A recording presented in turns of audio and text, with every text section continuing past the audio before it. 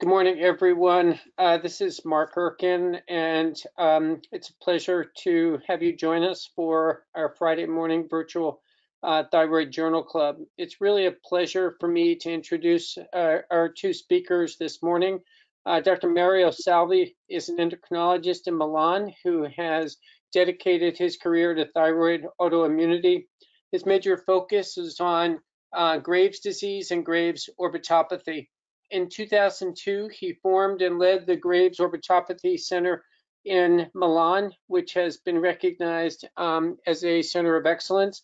In addition to his clinical work, Dr. Salvi has conducted a significant amount of clinical research um, with multi-center trials conducted as a member of the European Group on Graves Orbitopathy. He is widely published with over 170 peer-reviewed publications and numerous chapters in um, dedicated to thyroid eye disease. Um, our discussant this morning um, is very familiar to um, this uh, Journal Club platform. Dr. Terry Davies is an internationally renowned clinician scientist, widely recognized for his expertise in autoimmune thyroid disease. He is the Florence and Theodore Baumritter Professor of Medicine at the Icahn School of Medicine at Mount Sinai. Dr. Davies has long been funded by the NIH for his research in autoimmune thyroid disease and has published extensively with over 400 peer-reviewed papers. He's widely recognized as one of the leading experts in this field. Um, he is a past president of the American Thyroid Association and has received countless um, awards uh, during his uh, career. Um, the primer that we included as part of the reading materials on Graves' disease that um, I would uh, strongly encourage you to review that. It is really um, a um, outstanding contribution and um, uh, very worth uh, the time and effort to do so. So with that, I'm going to turn over the platform to Mario Salvi, and thank you once again, Dr. Salvi, for joining us this morning. Thank you, Mark, for for the presentation, and thank you, Terry Davies, for being uh, here with us today. Um, I'm I'm going to be reading the, the the case presentation of today, and that is going to be the the the the, the, uh, what we were working from to to to explain and and to go through uh, the data that uh, will be presented later on. A 29-year-old man presented with a six-month history of palpitation, anxiety, and progressive weight loss. On physical examination, uh, a visible goiter was found. Consequently, lab tests were ordered and confirmed the diagnosis of hyperthyroidism due to Graves' disease. The patient was started on methimazole, 30 milligrams a day, to treat the hyperthyroidism and he was also advised to undergo radioiodine ablative therapy as definite treatment. The patient tells you he's worried since he has read about the risk of developing de novo thyroid eye disease progression after radioiodine administration. At this moment, you explain that that uh, radioiodine should be avoided since it will undoubtedly result in the development of thyroid eye disease. B, there is no risk of developing post-radioiodine thyroid eye disease after a short course of oral steroids. C, there is no risk of developing thyroid eye disease post-radioiodine after a short course of intravenous glucocorticoids. D, radioiodine should, should be postponed until after thyrotoxicosis has been controlled and the patient has ceased smoking.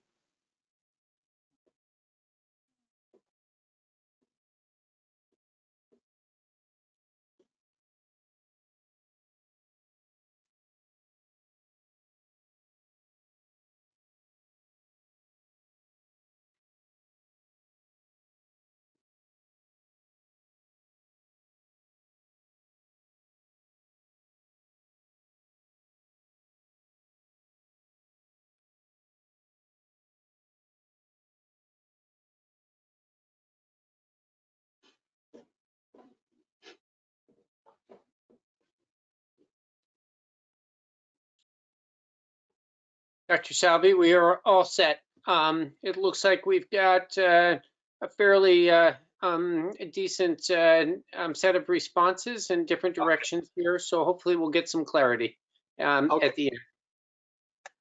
All right.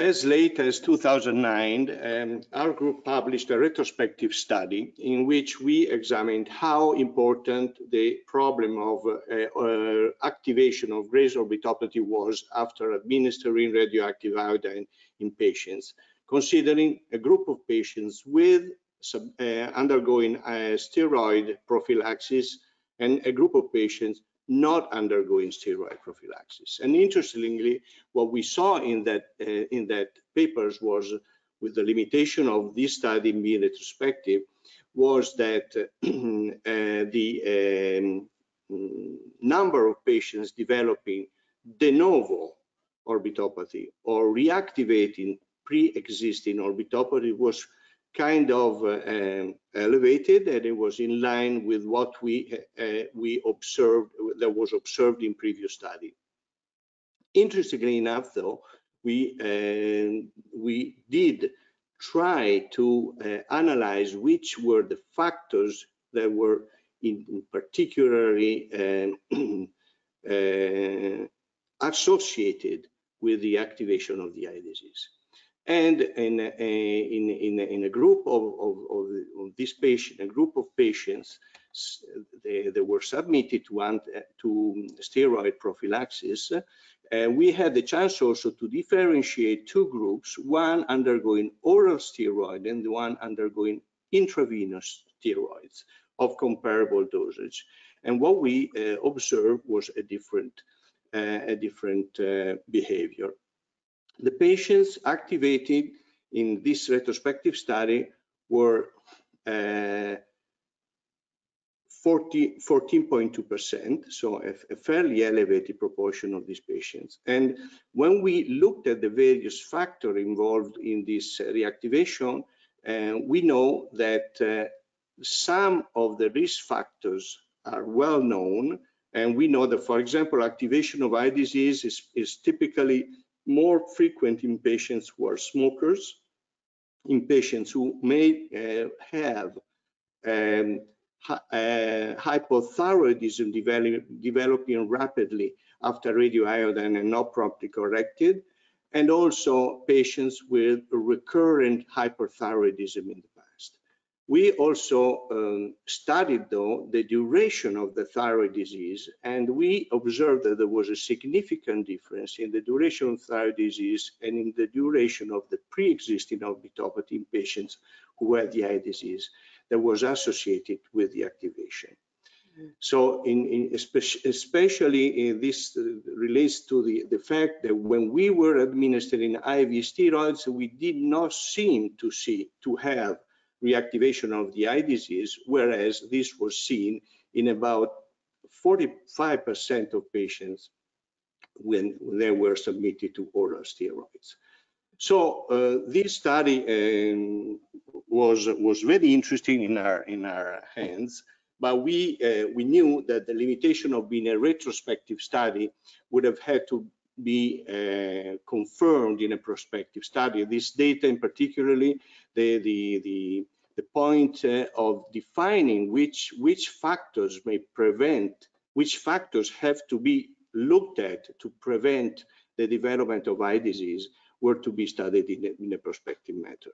The point is this, I mean, uh, when we think about the possibility of preventing uh, um, thyroid eye disease with steroid, we, uh, the question, the big question that comes, that arises is, are we giving steroids to all patients with Graves' disease undergoing radioiodine?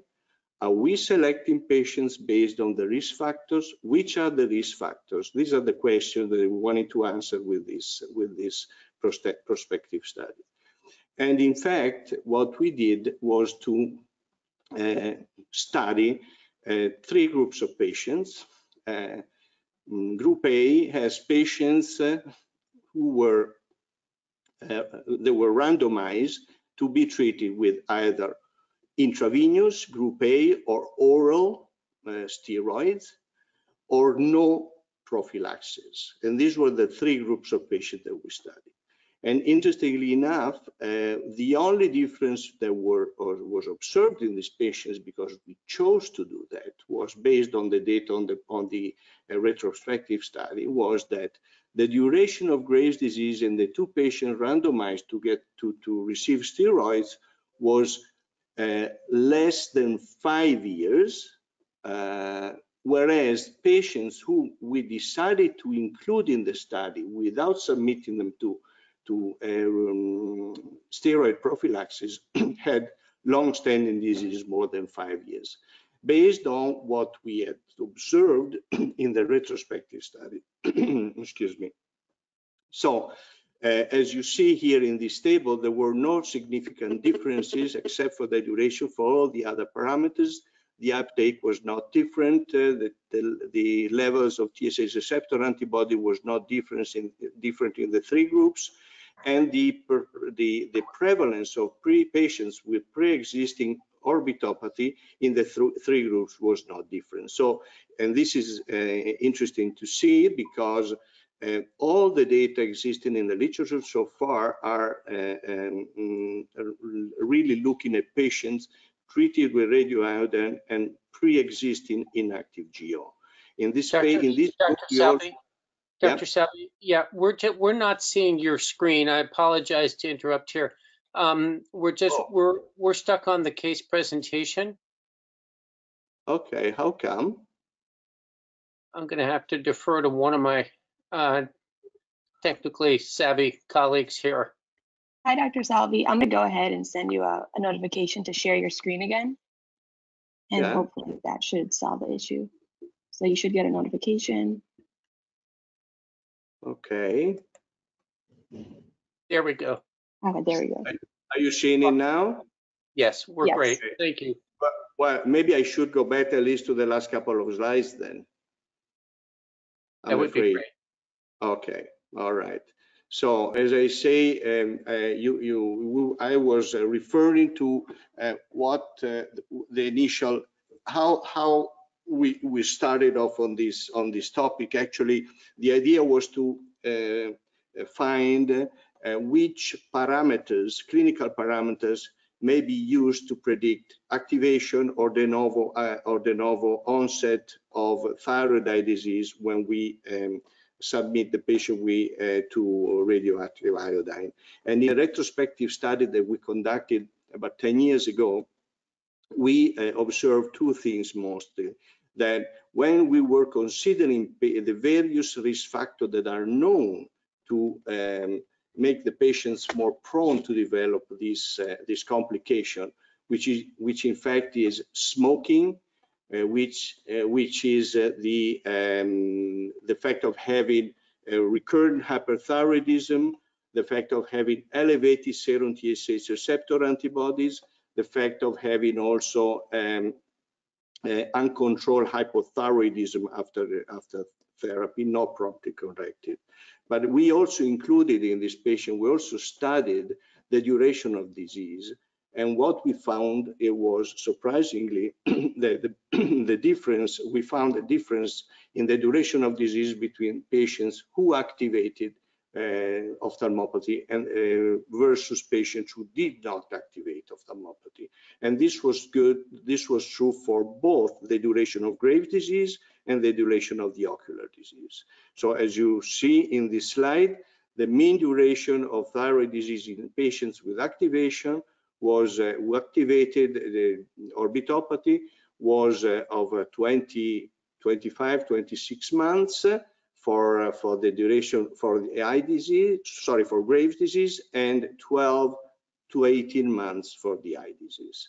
So based on that, we uh, decided to confirm this this hypothesis, to study this hypothesis in a, in a prospective way to confirm this data. And we designed a study in which we planned to we, we uh, randomized patients to to um, uh, in, in to uh, pay, uh, sorry we uh, randomized patients with uh, receiving either intravenous or oral steroids in, in patients whose disease duration was less than five years based on the data of the retrospective study and a group of 22 patients not undergoing radioactive iodine whose duration of disease was more than five years based on the data of the retrospective study.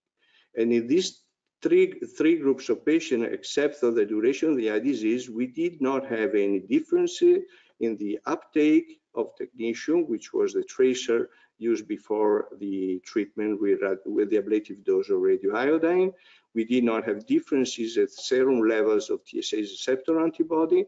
There was no difference in the prevalence of pre-existing orbitopathy, which was about present in about 80% of patients. So we did include in the study also patients with no previous eye signs.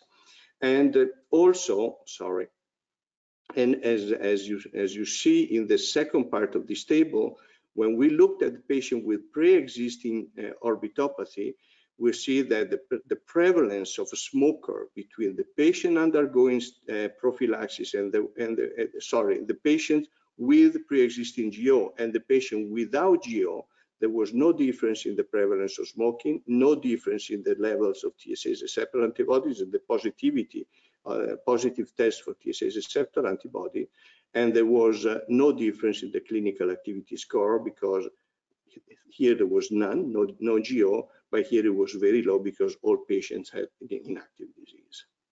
So when we um, uh, uh, analyzed the data of this study, there were two points that were very interesting that we wanted to find to, to confirm.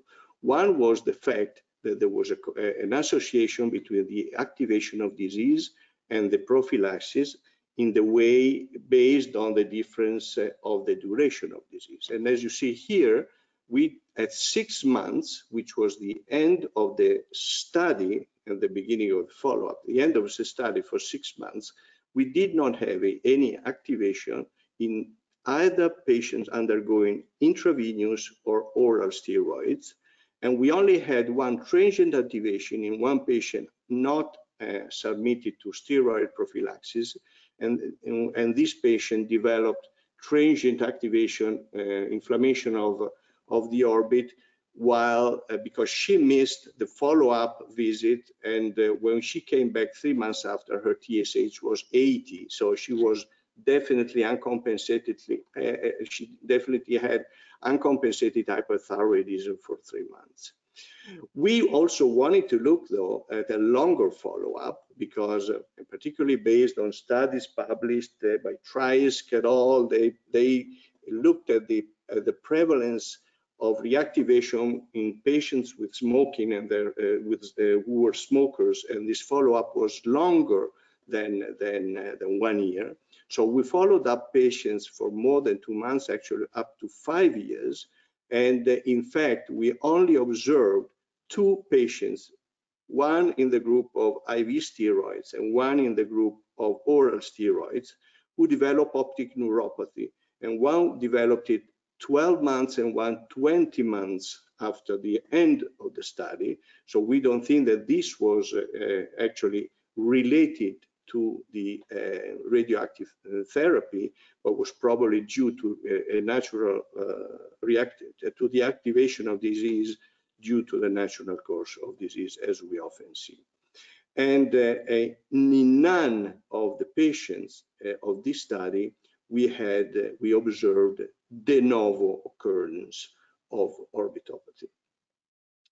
Then we also studied other parameters that might, might have been in relationship with the radioactive outcome.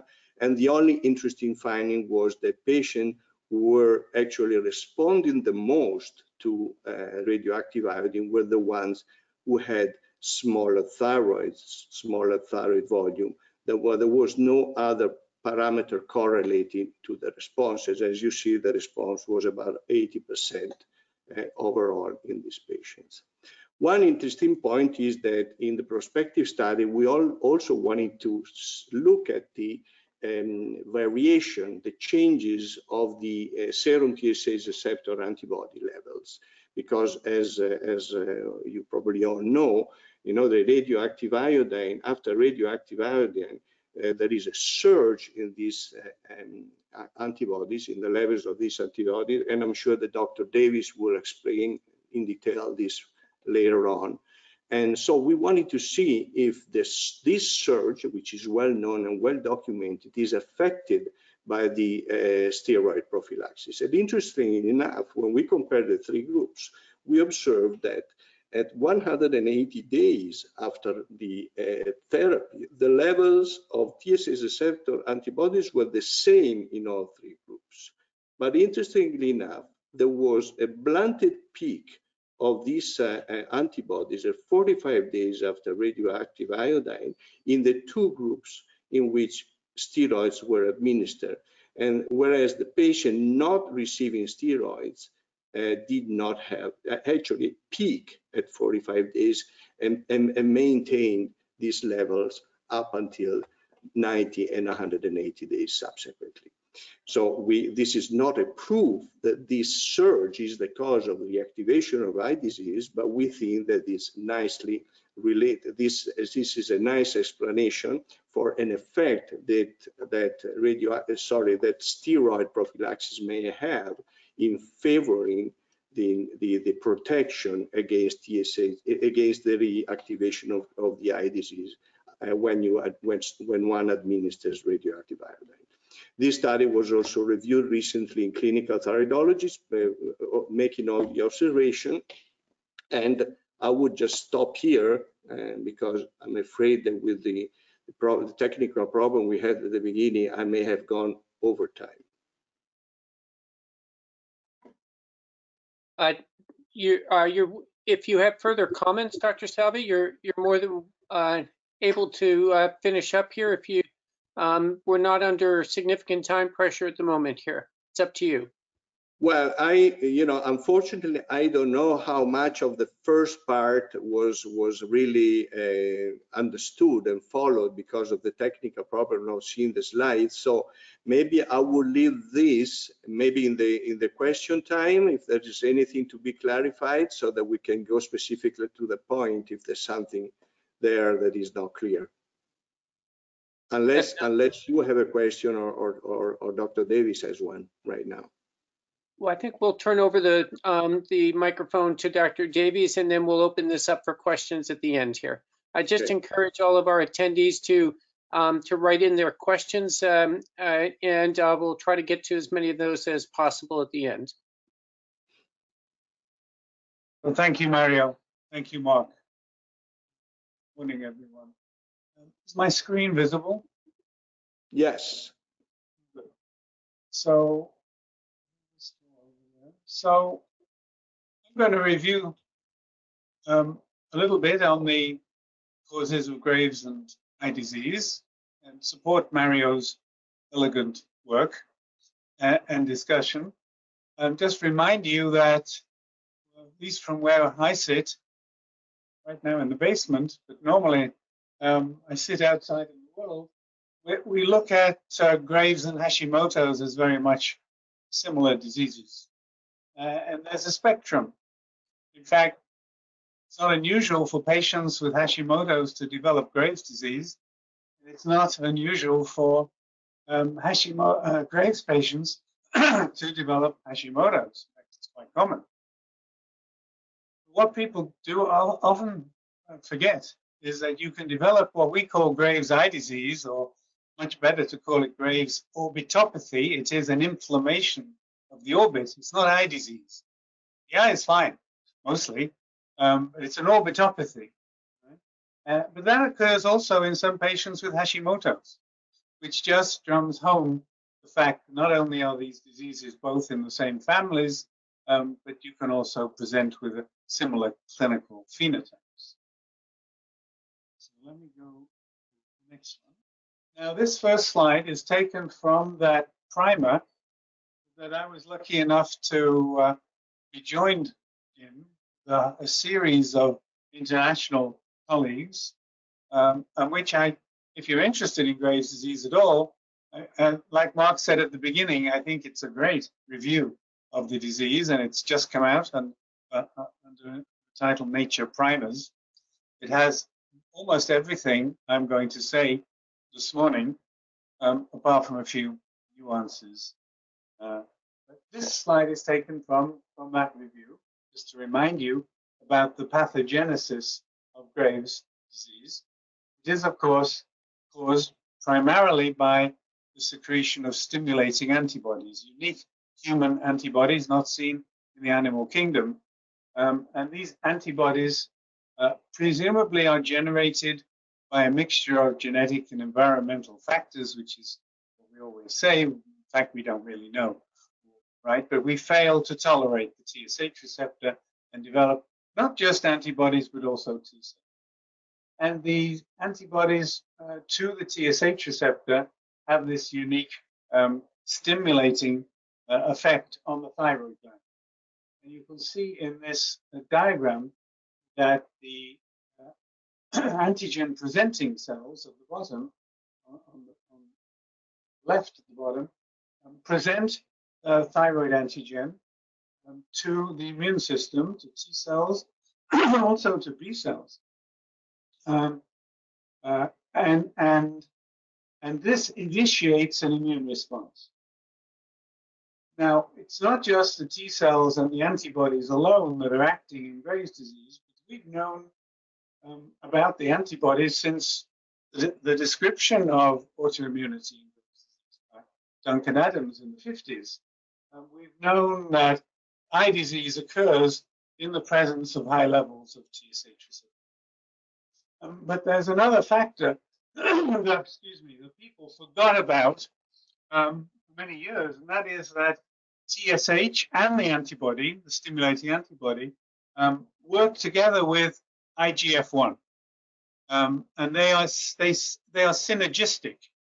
IGF-1 is there in everybody in the serum, it's a growth factor, right? And it, it uh, uh, synergizes with the action of TSH so that we have known for many years that TSH is much more effective at stimulating thyroid cells in the presence of IGF-1, um, and similarly with the antibody.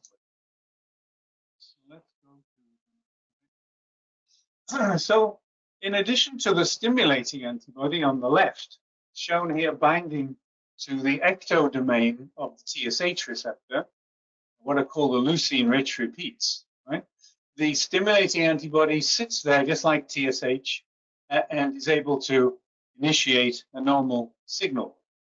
But there are also antibodies that sit on the receptor and don't fit quite so well, and they actually block TSH action.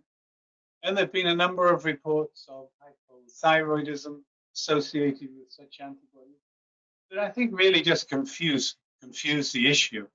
Um, uh, most patients have both these types of antibodies. There's a, a, a gradation from stimulating to blocking uh, and, uh, different potency. Uh, and, and, both of these can be measured simply in a commercially available receptor antibody assay. The bioassays, you have to be careful as a clinician in the United States as to what lab, uh, uh, what the lab is selling you because a bioassay involves testing against a thyroid cell and looking for a response. And in that one, you'll only get the stimulating activity. But there is a, uh, uh, I shouldn't mention any names, but there is an assay widely used by one of the largest labs in the country uh, that claims to measure stimulating antibodies. is in fact a receptor assay. They call it a TSI assay. There's a third group called the neutral antibodies that in fact are not neutral at all. They bind to the TSH receptor, but not in the TSH binding region. They bind to the part of the receptor that links it to the cell membrane. Those are called neutral or hinge region antibodies. Those antibodies, which we don't have time to talk about today, actually can um, initiate abnormal signals that end up um, compromising the cell or even so um, Mario's group um, have been very active in, in, helping clarify a clinical approach to orbitopathy. I think it's still pretty confusing, Mario, but but it's better than it was.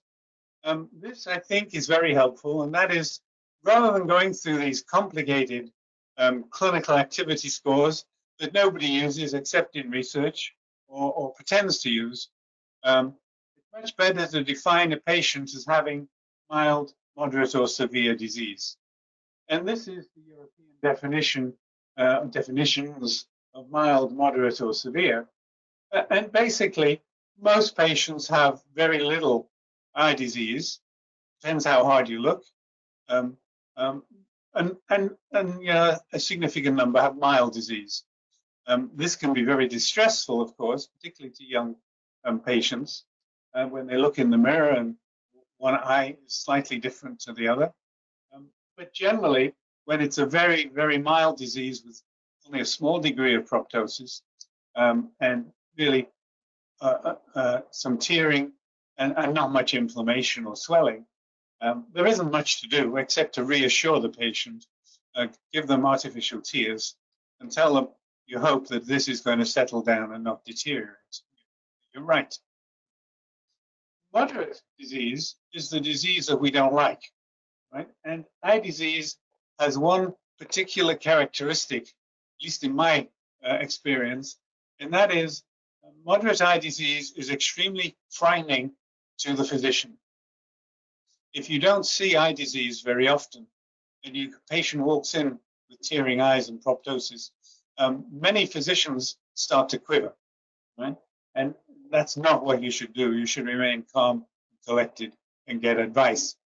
But moderate disease generally will need some treatment. That's what uh, we're currently talking about. Um, severe disease is uh, extremely unusual, but obviously in a center like Mario Salvi's, they're going to see it regularly, and this will require severe, either instant immunosuppression or instant um, surgery.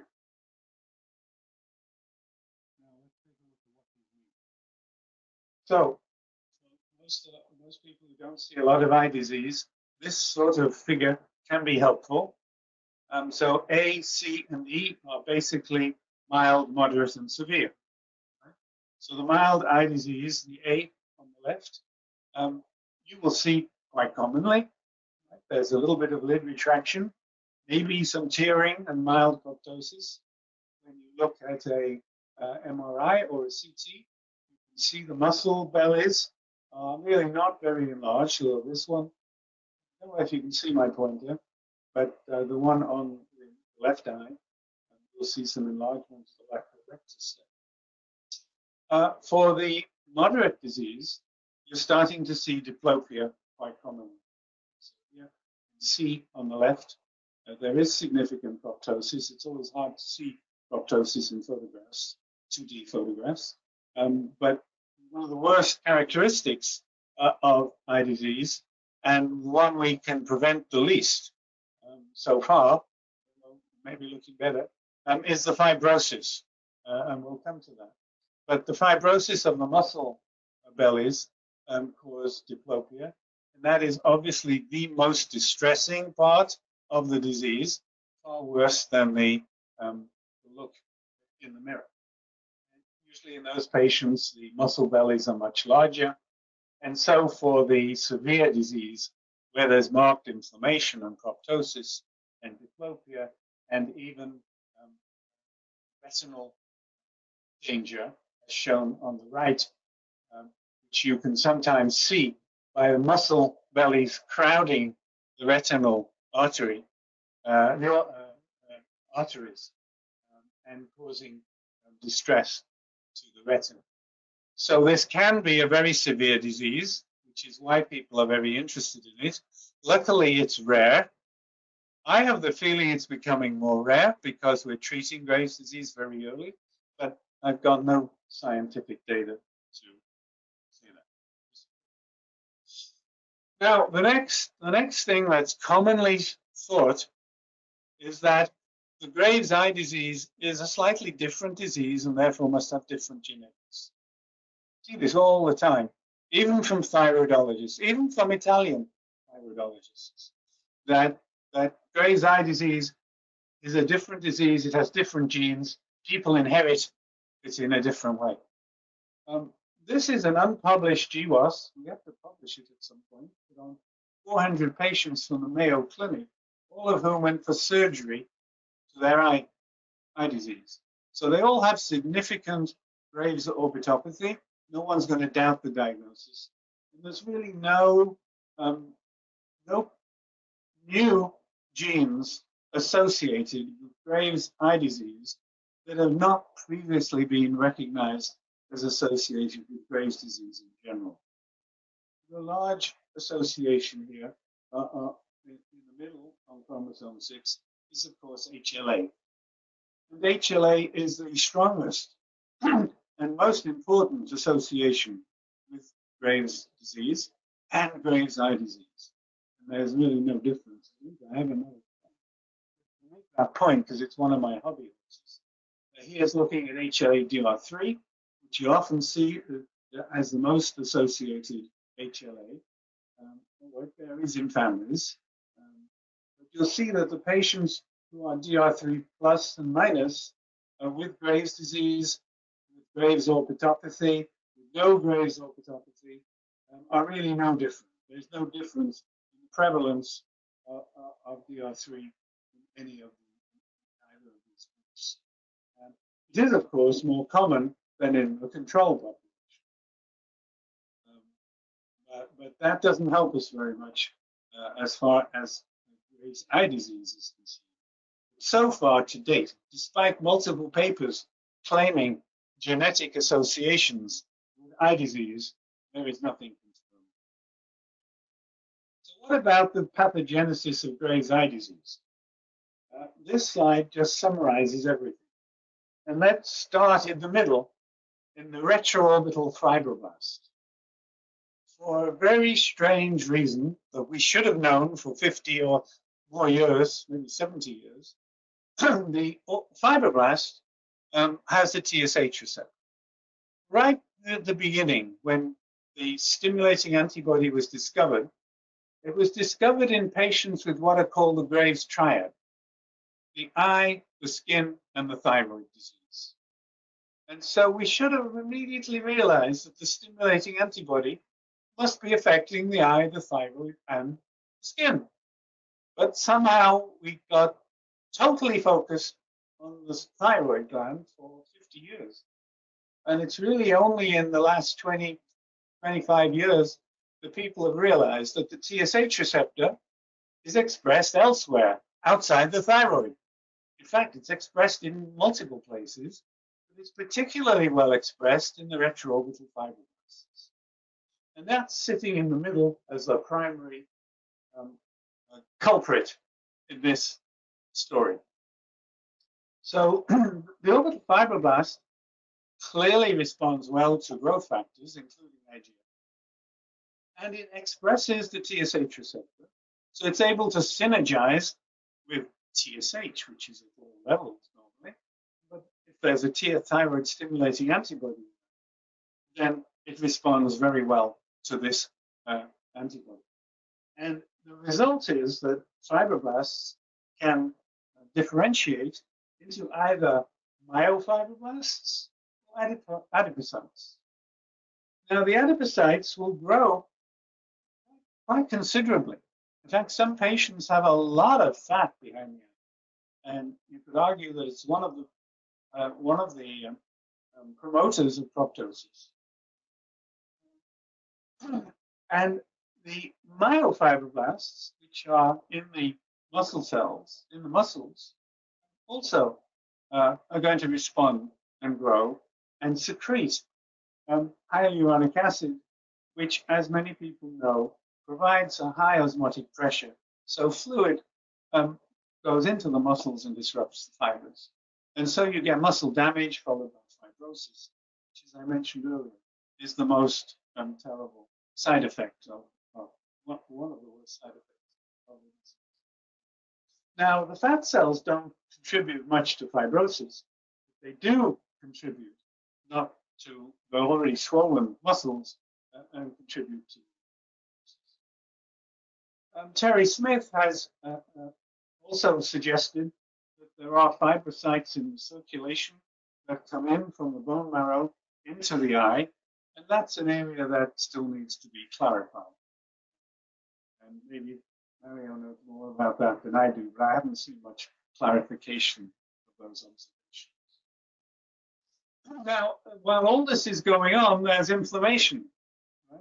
Inflammation caused by the T cells and the B and the antibody, but primarily the T cells are attacking uh, the receptor also on the fibroblasts, and setting up a lot of uh, local inflammatory responses, which are contributing to all this activity.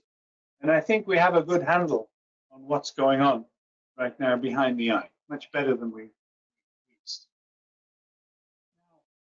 Um, ra rather than just referring all the time to Dr. Salvi's work, I took a few slides from other other investigators just to prove that he's right, uh, generally. Um, and this is a nice, uh, one of a few, I think, meta-analysis of the role of steroids in, in, treating eye disease. It's a little complicated, but um, the risk ratio is shown on the right. right. So in this sort of slide, to the right favors the treatment. And you'll see that if you look at intravenous glucocorticoids versus nothing, right, a control, placebo, um, in, in Graves' eye disease, generally it's a very significant improvement. So steroids can be highly effective in a good proportion of patients um, with bad eye disease. No one's going to be arguing about it. However, there's not a big difference between intravenous and oral. Um, I know the Europeans love the oral, um, the intravenous, and it's a little more difficult over here in the States to use. Um, you need to use generally an infusion center. Um, but there is a, a, a, clear benefit from using intravenous. Uh, the side effects have been claimed to be much less from intravenous than oral. A lot of that depends on dosing. Um, here, you'll see that there's intravenous glucocorticoids plus oral versus just oral. Um, oh, this is radiation. I think OR is radiation. Again, a little bit of improvement. Here's rituximab, right? A B cell um, uh, suppressor, immunosuppressant, um, that um, is not terribly effective in, in, these particular studies, although other people have found it. Uh, this is, uh, I think we'll come, we'll come back to these. We'll come back to them. Uh, uh, this other surgery, one at the bottom is surgery. Well, obviously, surgery is effective in the hands of a good surgeon, of a surgeon who knows what he's doing with Graves' All right, so here's some, this is Scandinavian data. I seem to have lost the, um, this looks at time after uh, uh, with development or worsening of orbitopathy following radioactive iodine treatment. And you'll see that in A, right, uh, as Dr. Salvi pointed out, generally radioactive iodine causes more problems with the eyes than medical therapy. Generally. The degree and the amount varies from study to study, how many patients, how long they'll but I want you to look at the other ones. One to the right is just smokers. Smokers versus non-smokers. Why smoking causes eye disease to be worse is unclear. Whether it's just smoke that gets in your eyes, whether it's something to do with nicotine or uh, the circulation affecting the immune response, we don't really know. C is giving radioiodine just to non-smokers. So clearly there is a radioiodine effect without smoking. And B, uh, D is the smokers' data, where they really do badly, right? Smokers do badly in general, uh, somewhat worse with radioiodine, but they've got to stop smoking. Got to stop them smoking. So why do the eyes deteriorate after radioiodine?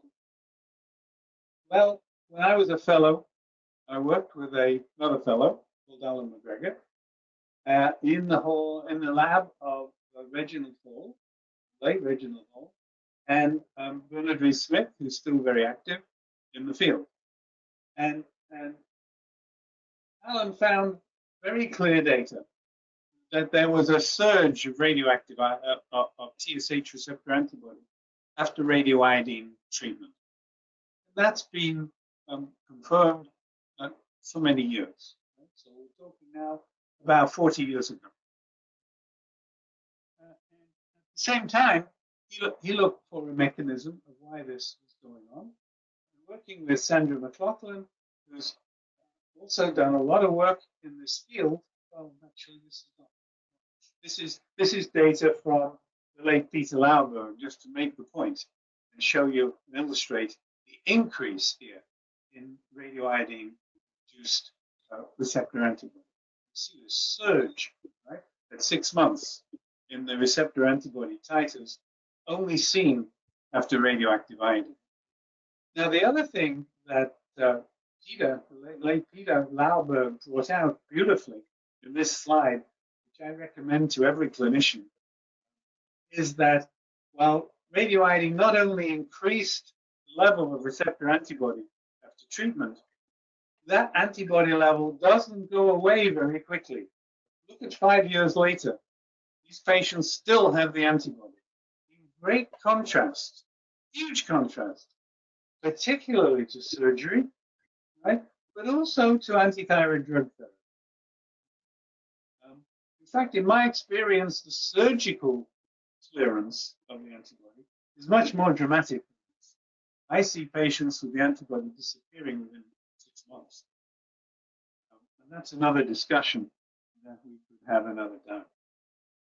The point here is that radioiodine causes this big induction of TSH receptor antibodies. And since we've known for 70 years that these antibodies cause eye disease, people still cogitate on it, um, uh, it's clear that you're going to get a bad response. And this rather poor slide, it's very old, and I wasn't able to get it out of the Lancet um, uh, easily, but this just shows the in vitro studies done at that time in the 79 to look at the influence of irradiated lymphocytes on a patient's antibody response. This is done with microsomal antibody in this patient, and then with thyroglobulin antibody in the second and a third uh, patient. And you'll see that each time they got to a particular irradiation dose, added the lymphocytes, irradiated lymphocytes back, they got an increase in thyroid antibody release uh, in vitro? Documenting that irradiation has a direct effect on the immune response. And this is primarily helper T cells that are very susceptible to irradiation. And once you irradiate the lymphocytes, you activate, you, know, you inactivate the helper T cell. No, rather, you inactivate the regulatory T cells and allow the helper T cells. So I think we have a mechanism, we have clear data on multiple studies that there's an increase in, in the disease causing TSH receptor antibodies. So why would anybody want to use radioiodine? Well, people do.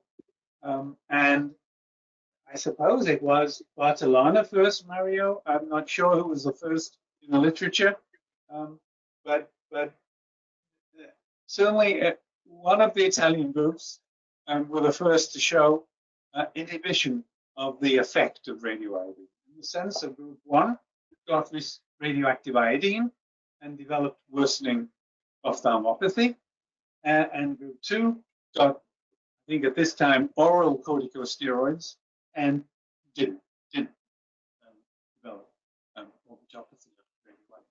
Maybe it was intravenous. Um, but the point being that if you give patients a steroid dose at the time of radioiodine action, um, it's going to help.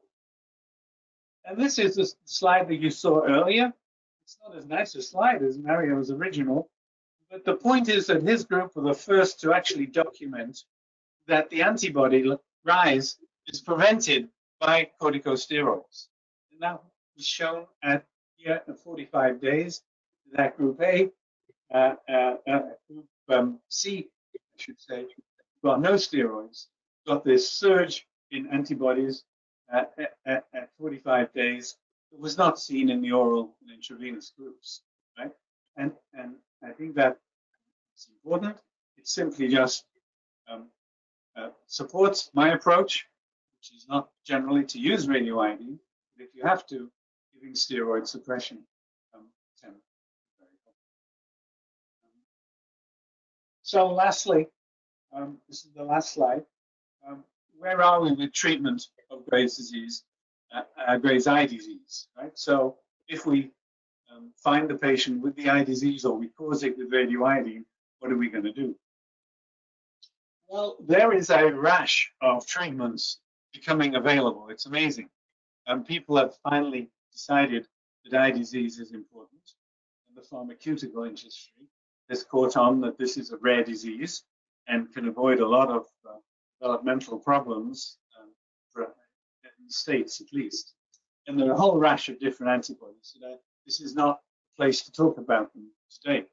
But every time you open the journals at the moment, you'll see advertisements for Tepeza, um, which is a monoclonal antibody blocks the IGF-1 receptor.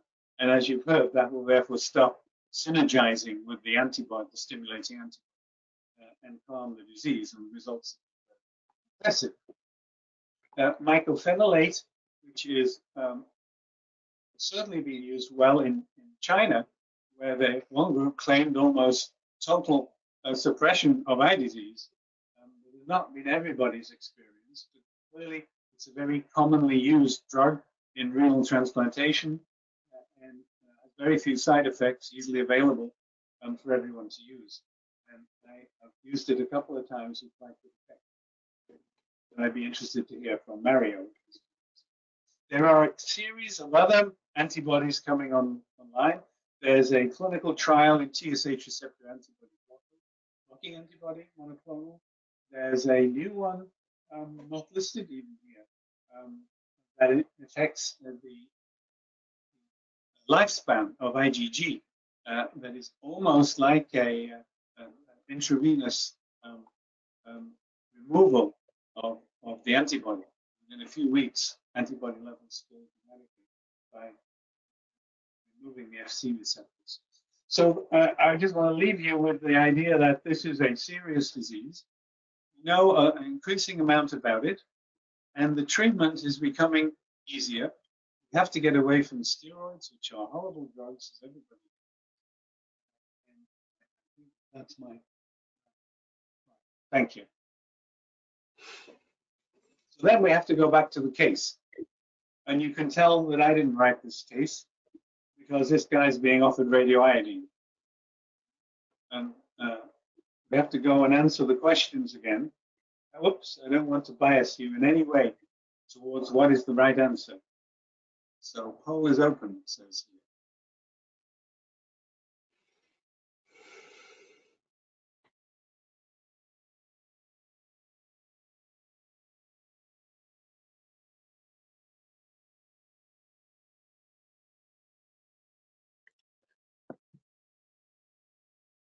So Mario, while we're waiting for the final response here, um, uh, it doesn't quite look like we had as dramatic an impact here on the um, on the answer uh, to this question, but um, nonetheless, I want to give you an opportunity to comment on uh, Dr. Davies' outstanding presentation before I um, pose some additional questions to you.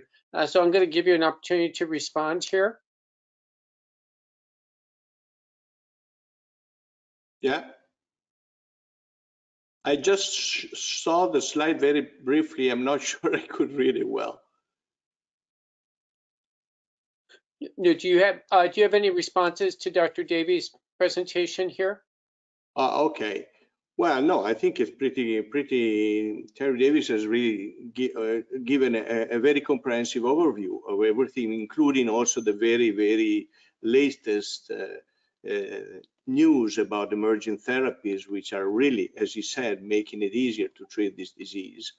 Um, the only comment I wanted to make, and I, and I appreciate it very much, that, that, that this, the, the slide that he showed from the study of Laurberg with the big increase of TSH receptor antibodies after radioiodine, which we believe we can some way control if we give a steroid uh, at, uh, at the time of treatment.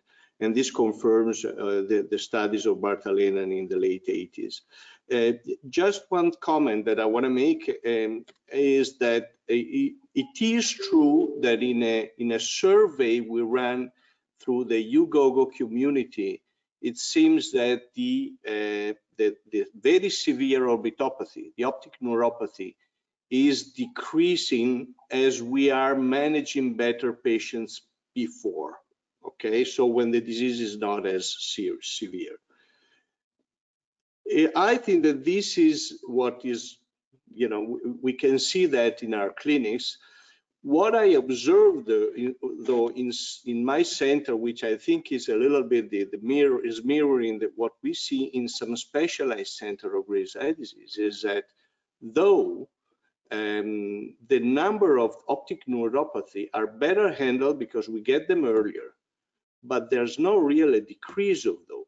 It is as if uh, the feeling that we have is that the um, natural history of this disease progressing to optic neuropathy, no matter what you do, is not modifiable. And we've been observing optic neuropathy after any sort and any kind of therapy in all the clinical trials we've done. No matter if we treat the patient with steroids, if we give rituximab, if we give uh, um, belimumab, then we're trying, and all the other treatments. So I think that there's something that we're still missing about why the patient to at some point goes on to have this very severe complication uh, despite the treatment that we, we, we, we really provide. So um, thank you. Um, I, I want to just ask, pose a few quick questions um, for some uh, quick responses here. It appears from your study, uh, Mario, that that it's the time course of the rise in um, TSH receptor antibodies that is the key factor here because the absolute level um, ultimately rises um, uh, to, um, but in a delayed, but in a in a delayed way. And what is yeah. it um, that you speculate about the rapid surge that um, has this profound effect on the orbitopathy? Well, I mean, certainly, uh, you know, the, the first few slides that Terry Davies has shown about the the the the the, the fact that you know we have exposure of antigens. I mean, when when we uh, administer radioactive iodine, we break up the thyrocytes, and all the antigen are exposed, and they uh, and they become autoantigenic. That's that's, that's something that is well known, and it is possible that in a situation like that and this uh, this uh, this uh, cytokine milieu is modified in that situation, and we have prevailing uh, certain uh, uh, inflammatory pathways that go on to, I will say, trigger more autoimmune, the, the, autoimmune cascade. And in, it may well be that some of these patients do also switch from the uh, blocking or neutral autoantibodies to the stimulating autoantibodies due to that, because you know the the the the the um, um, the the the, um, the, the, the, the, the, biochemistry of it all changes in the sense that we may have an increase of the titer of these antibodies and the titer of antibodies is definitely related to the kind of binding the antibody has. So we, we may displace some blocking antibodies and, and, and have more stimulating antibodies coming up. I mean, these are all the possible hypotheses, but definitely radioiodine destroys the thyrocytes but leaves the uh, the consequences in the thyroid, which is now this is something that doesn't happen if you take the thyroid away by surgery because that, that you eliminate the possibility of, of having um, uh, autoantigen triggered for a, for, for a longer time there. I don't know if I could, I make myself very clear on this, but I think it's really related to the amount of antigen exposed that you have after an radioiodine, they may trigger the rise of these antibodies. Great. Um, in the time remaining, Mario, could you just comment, um, two of our questions from the attendees relate to the dose of corticosteroids and specifically what oral steroid regimen you use um, uh, in terms, uh, both in terms of the dose and the timing of pre-treatment relative to administering radioactive iodine. Okay, we first, uh, uh, first as answer to the second question, we do not pre-treat patients. We administer steroids starting from 48 hours after the dosing of, uh, after administering radioactive iodine, because we've done some kinetic studies and this shows that the, the, the that's the best time to avoid that steroid may in a way compromise the uptake of radioiodine within the thyroid gland. So we start 48 hours after the dose. And in terms of the dosing, we, I, we use now, based on our studies, we offer the patient to use either oral steroids and we give them prednisone or the intravenous steroid and we give them methylprednisolone. The total amount of steroids we give is 1.5 grams, which is distributed in IV, in the IV regimen in four weekly infusion, two of 500 and two of 250 milligrams per week. So it's all, all of four weeks. And uh, the uh, amount of, uh, mm, and, and, that equals the oral regimen, which, which goes on for six to eight weeks, depending on how we start off. Usually we start off with 50 milligrams and we, we, we taper it down to 25 uh, and, and then to, to 12 and then to five milligrams and then lasts about six to eight weeks based on the compliance of the patient. Terrific.